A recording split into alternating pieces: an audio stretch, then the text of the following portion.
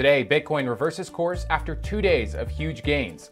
The New York Department of Financial Services clarifies its reasoning for shutting down Signature Bank, and Gilbert Verdian of Quant discusses what's next for crypto banking.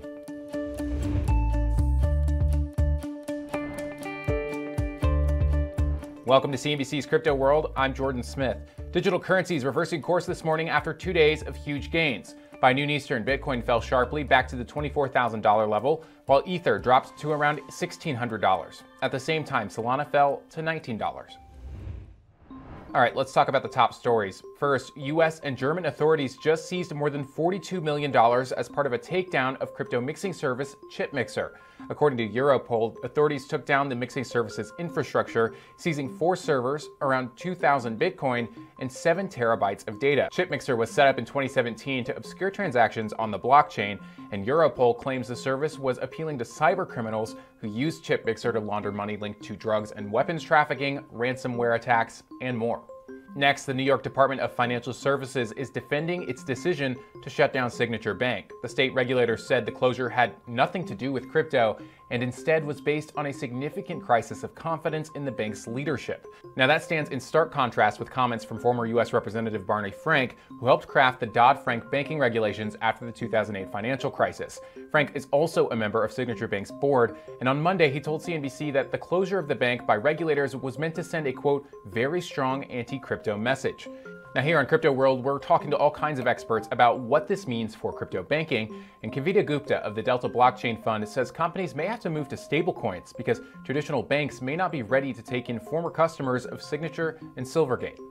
Now, these companies have to create a new bank account at traditional banks like Bank of America or JP Morgan or other places, which are not that crypto friendly.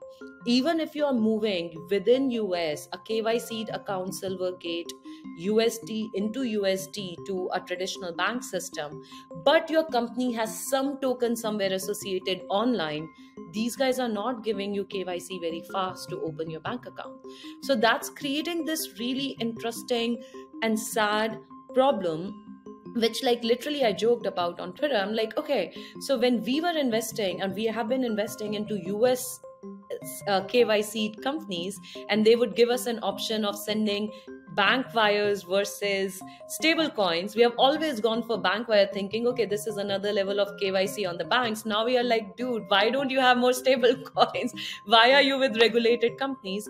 Because they are stuck. Even if they are ready to move multi-million dollars they don't have a place to move multi-million dollars today.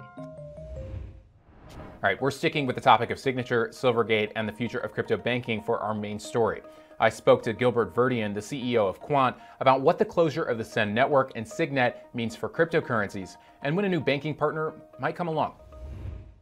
So I think when a lot of people are talking about Signature and Silvergate and its involvement with crypto, they're worried about how it will limit crypto's interaction with traditional banking going forward. But can you talk about how enmeshed crypto is with traditional finance as it stands right now, even before the collapse of Silvergate and uh, Signature?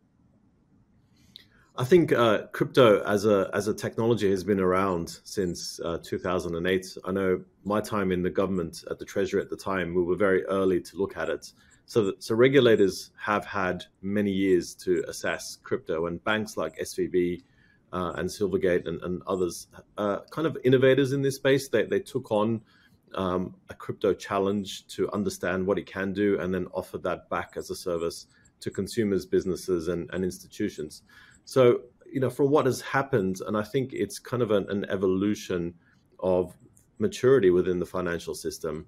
The early innovators are doing their thing and, and, and they've tried it out. And unfortunately, this hasn't really worked in, in everyone's favor. And, and what we're seeing in the markets this week is kind of a, a fear. And, and one of our board members, uh, Guy Dietrich, says fear happens very fast and, uh, and it spreads very fast. So, so we're seeing that um, happen very quickly within the markets, but it's it's not going away. What what we can actually learn from the experiment of decentralization, the experiment of crypto, is how to do it by regulated institutions and how to offer it as a as a new form of an instrument or a new form of a of a tokenized security, and and that's where we're heading. Yeah, you mentioned the fear, and obviously we're seeing it with regional banks, but uh, particularly with crypto. How big of a risk is uh, a crypto contagion event? How big of a risk is that spilling into traditional markets, and has that been tamed now that the government's stepped in and backstopped some of these deposits? Um, if you if you look at contagion and and resilience and systemic risk, uh, this is a small drop in the ocean. What's happening this week? Uh, the actual um, value of what's happening is, is only 300 billion, and the US banking system is 23 trillion dollars worth. So it's not a real contagion to the same uh, effect as we had during the real financial crisis, the, the GFC in 2008. Uh, so the contagion has, has been quite successful because government overnight has stepped in. We saw the same thing happen in the UK with HSBC uh, agreeing to buy uh, SVB Bank. Uh, and that's been a, a, very strong move for the markets, and, and it's rallying and reacting to that. Um, but if you think about contagion, we're, we're, not risking the system as a whole. But if you look at crypto as as an asset class, less than 10 years ago, uh, in you know in 2013, it was only 10 billion worth. Uh, today, it's over a trillion. So the the actual market of of that new type of asset ha, has become too big to not do anything about, and too big to not regulate. Mm. So we're seeing regulators understand what what can happen to a market and to the rest of the system, and they're starting to regulate appropriately. Uh, you know, moving forward. Mm. Speaking about regulation, um, I'm wondering if you could give sort of a reality check um, as to, you know, there's been a lot of concern around whether this the, the, shutdown of SEN and Signet um, will really limit cryptocurrency companies and their ability to transact with U.S. dollars. Um, do you see a competitor coming along? Do you see any headwinds when it comes to uh, regulation and another bank stepping up? Um, what, what does the landscape look like now that we've lost these two forms of technology? I think what we'll firstly see is, and what the market needs is clear guidance from regulators on, on what is allowed, what is appropriate, and what is expected. Uh, that will be coming in, and, and we've seen introductions of new bills in Europe that, that are facilitating that, and we're seeing MICA and, and the Financial Markets Bill in the UK. Um, what we're going to see next is the actual implementation of new types of assets, new types of instruments that use crypto technology like blockchain, tokenization, fractionalization to deliver better products and services back to consumers, businesses, and institutions. So we've already seen the beginning of that, and, and a lot of the, the, the global banks have been experimenting with this. JP Morgan, Citi with the regulated liability network, and, and others uh, are bringing and introducing new forms of uh, instrument classes and assets to the market.